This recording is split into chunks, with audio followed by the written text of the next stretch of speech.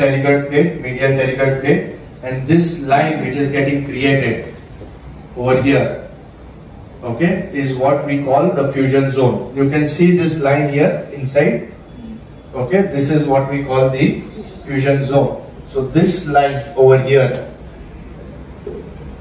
is the fusion zone where this two, see why it is called a zone?